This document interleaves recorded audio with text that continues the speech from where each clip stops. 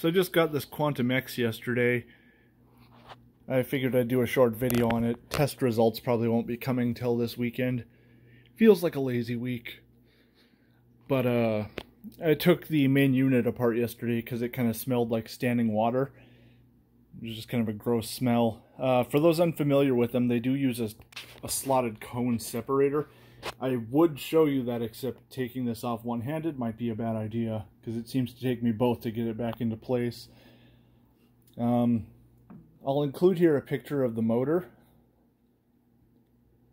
It is a peripheral bypass type motor, but unfortunately I didn't find it to be very serviceable, because while I could take it apart to some degree, I could access the first fan, I could not take a, I could not take this, uh, I think it's like a locking washer or something like that.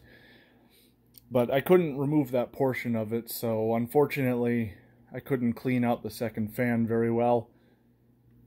and um, I'm not sure if this happened in shipping. Whoops. Not sure if that happened in shipping or if this happened while I was taking it apart, but there's now a crack here, which kind of sucks. And then, uh, yeah, this isn't a button, it's just a little touchpad. And then there's a circuit board below here.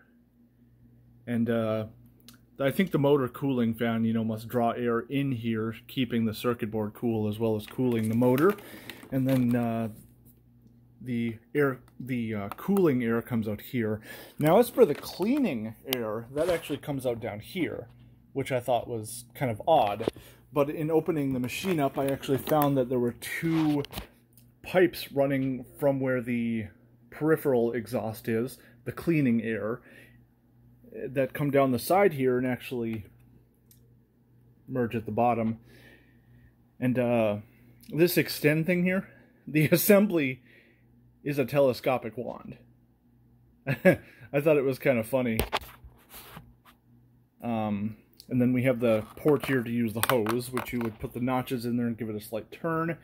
I did do a preliminary test on the hose um, I think I got about 56 to 58 inches of water lift.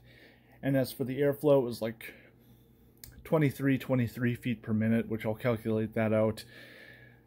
It, the hose wasn't in an ideal position because it was kind of sagging, but what do you do? And here we have the Yeah, it's not a very energy not a very energy hungry machine. Strangely, I've heard the according to the manual, the motorized nozzle only uses about 80 watts. And this nozzle reminds me a little bit of like a Wessel-Werks nozzle. Um, I don't want to lean it too far back because it's got water in it. Let's see if I can light this up. Yeah, we got a squeegee back there.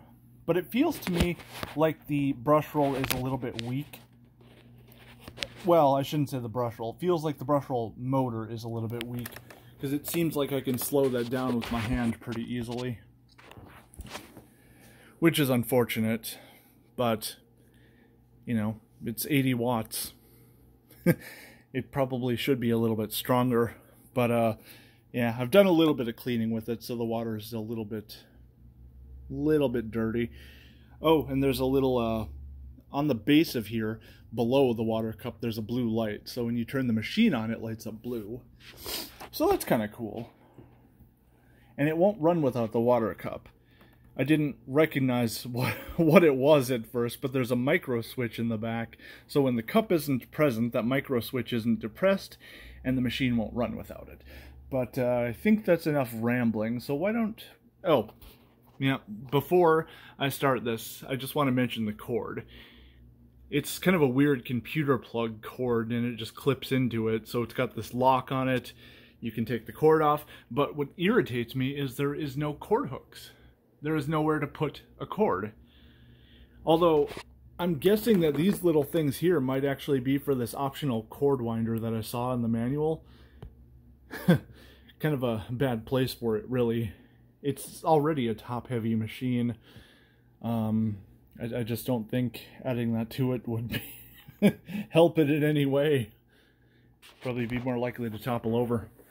But, anyways, we'll start the machine up and the, uh, I haven't opened up the nozzle to clean it out, but I'm assuming it has a, mi mi a micro switch in it since the nozzle will not start up when it's in the upright position.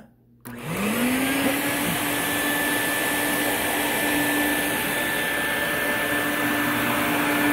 it back.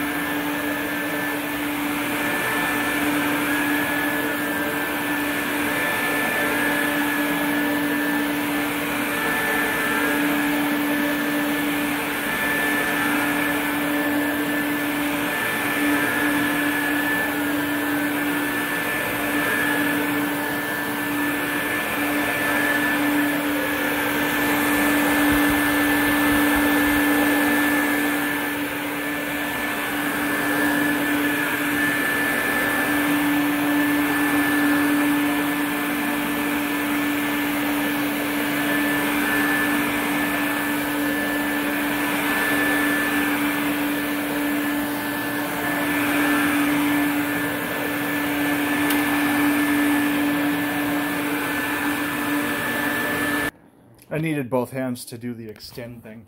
Like I said, it's an extension wand. That's all it is. But uh, it doesn't swivel when it's in its full compact position or whatever you'd want to call it. But once you actually have a little bit more space... Whoops!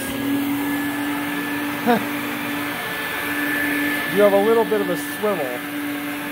Although it's more just the... It's just more the back turning rather than anything.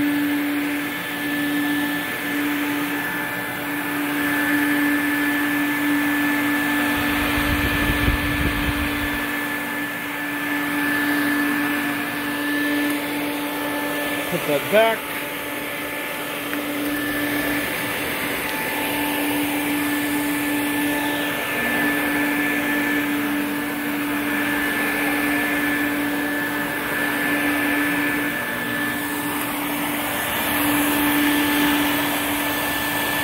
And just for the hell of it, we'll put the hose on.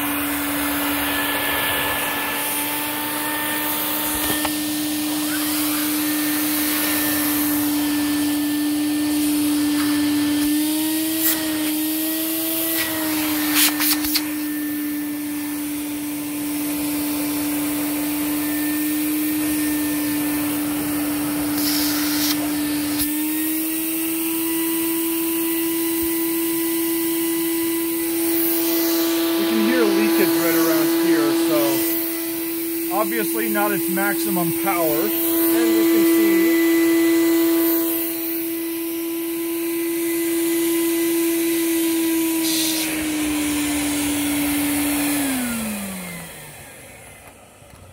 And uh, why don't I take the water tank off and give you guys a quick view of the separator. And then the water tank here is actually in two parts. This upper piece and the fill tube comes off which it seems like a lot of stuff gets lodged in that fill tube, which is uh, kind of annoying. It's a little bit difficult to clean out, but it's not that big a deal. But here we have the separator. So, for those who are unfamiliar with water filtration vacuums, this is actually attached to the motor. And so as the motor spins, this spins. This is what keeps the water out of the motor. And then I mentioned a micro switch right back here. So when the cup is inserted, one of these two little fins back here makes contact with that switch and then it will turn on. In fact, if I push this switch, then it signals that it's in the off position. But if I release it, it shuts off. I'm guessing it's just kind of a safety feature, to keep people from uh, sticking their hands against a moving object. People do some stupid things. But maybe now we can get a slightly better view. I don't know what this is about, or that other piece. But, uh, yeah. Brush roll is plastic. But it does seem slightly Wessel-Werk-like to me. Rubber wheels, and then we have a squeegee behind here. I've I've not I've not had a problem using it on bare floors, but you know, a brush roll shut off would have been nice on a two motor system like this.